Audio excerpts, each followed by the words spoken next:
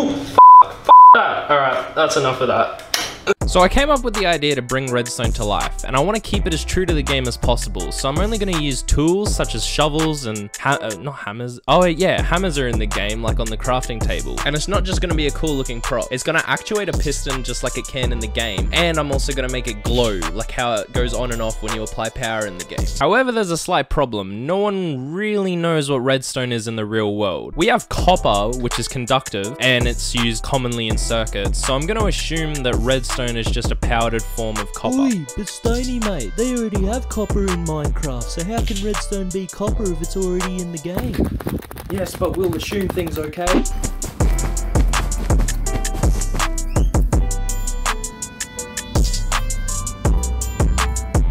I know there's a complicated chemistry way on converting copper into dust, but it's not really feasible in Minecraft. So I'm gonna use this, an iron shovel.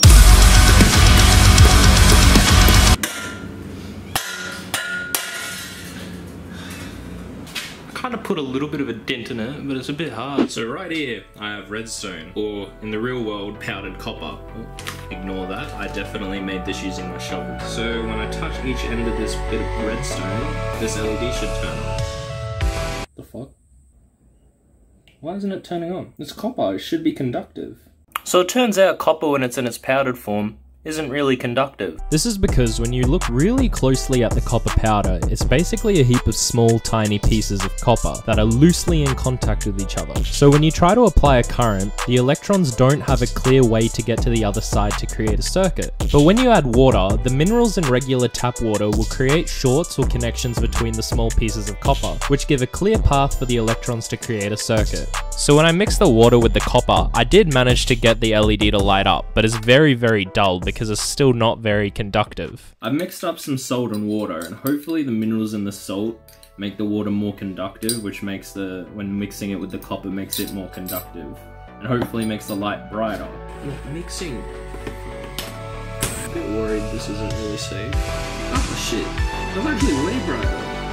That's hectic. So before you say, "Ooh, there's no, there's no salt in Minecraft," well, there's salt in sweat, and assuming Steve is a human, he can make salt out of his sweat. Now that I've made functioning redstone, I want to try and control this piston I made with it. So here I have my circuit. I've got my simple redstone here, and then I've got my piston.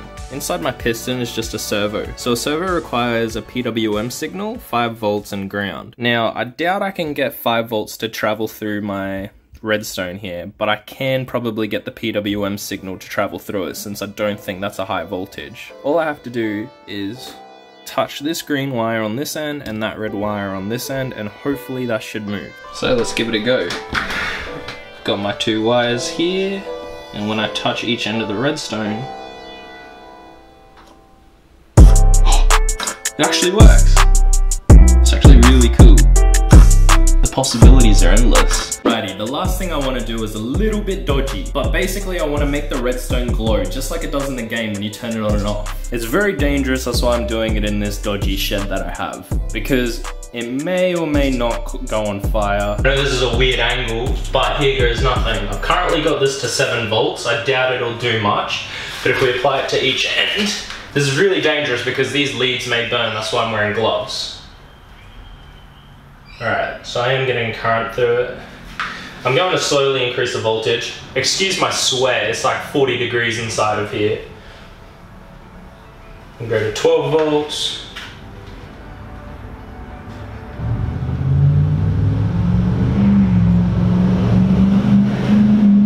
Yeah, let's just off cars. Alright, we'll just go up to 30 volts.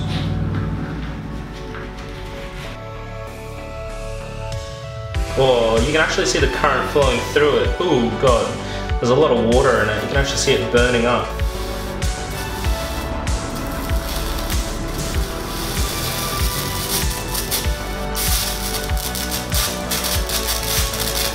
I guess you could say that's glowing. it's not what I had in mind, but I guess it's kind of impossible to get it to glow. Oh, look at that. Ooh!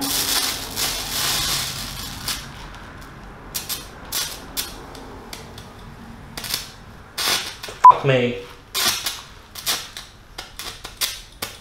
Ooh, I think I just switched to fucking fuse. Ooh, f, f that. Alright, that's enough of that.